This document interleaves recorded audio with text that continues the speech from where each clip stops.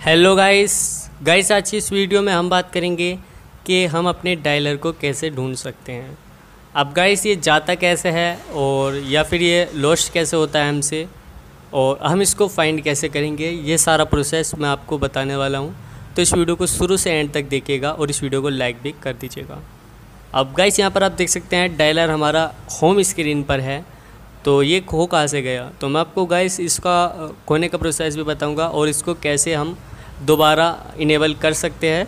अगर हम डिसेबल कर देते हैं इसको, वो भी मैं आपको बताऊँगा। तो सबसे पहले तो मैं आपको बता दूँगा ये डिसेबल कैसे होता है। तो यहाँ पर गाइस आपको इसको डायलर को पकड़ना है और ऐप इन्फो में ला देना है। अब जब आप इसको ऐप इन्फो में लाएँगे तो यहाँ पर ये कॉन्टैक्ट मैनेजर में कन्वर्ट हो जाएगा। तो यहाँ पर आप इसको जैसे डिसेबल करते हैं देन ये हमारे मोबाइल से बिल्कुल गायब हो जाएगा। आपको ये कहीं पर भी नहीं मिलेगा। अब ऐसा होता है गाइस किसी को पता नहीं रहता है कि ये डिसेबल हो चुका है।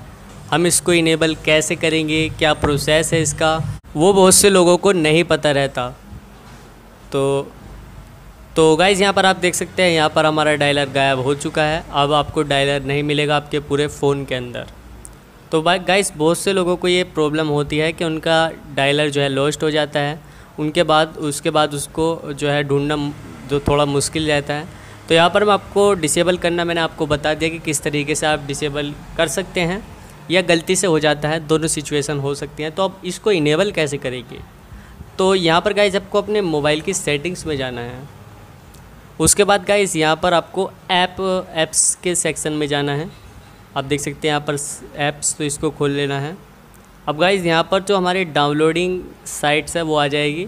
उसके बाद जो हम मेमोरी कार्ड में करते हैं, जो ऐप्स वगैरह, वो यहाँ आ जाती हैं। उसके बाद रनिंग जो हमारी मेमोरी रैम रहती है, उनको मैनेज करने के लिए होता है। उसके बाद जो आता है हमारा आल का फ़ीचर आ जाता है।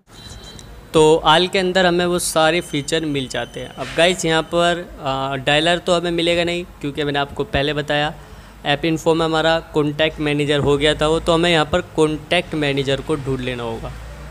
तो यहाँ पर तो कॉन्टैक्ट मैनेजर आपको जब तक मिलेगा जब आप उसको डिसेबल नहीं करते, लेकिन अगर आप डिसेबल करते हैं तो वो आपको यहाँ मिलेगा कॉन्टैक्ट मैनेजर जो है डिसेबल के फीचर में मिलेगा। तो यहाँ पर आपको कॉन्टैक्ट मैनेजर पर क्लिक कर देना है और इसको इनेबल कर देना है। अब जैसे इनेबल करेंगे आप तो ये जो है आपकी होम स्क्रीन पर आ जाएगा। तो यहाँ पर आप देख सकते हैं, ये आ चुका है तो मैं इसको यहीं पर दोबारा डाल देता हूँ। पर देख सकते हैं डायलर सक्सेसफुली हमारे मोबाइल में चल भी रहा है। तो ये था गए इस प्रोसेस अपने डायलर अगर आपके मोबाइल में खो जाता है तो उसको फाइंड करने का तरीका। तो गाइज़ उम्मीद करता हूँ ये वीडियो आपको पसंद आई होगी, अगर पसंद आई हो तो गाइज़ लाइक करना लाइक करने के साथ साथ हमारे इस चैनल को सब्सक्राइब भी कर दीजिएगा। तो मिलते हैं गाइज़ अगली वीडियो में, तब तक के लिए बाय एंड टेक केयर